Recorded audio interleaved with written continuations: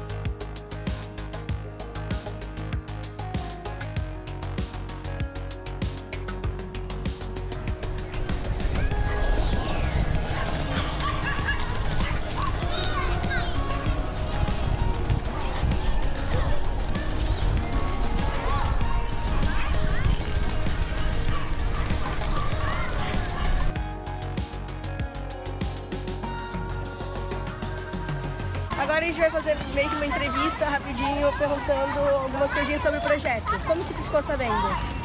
Uma amiga me mandou mensagem no meu direct do Instagram, Avisando.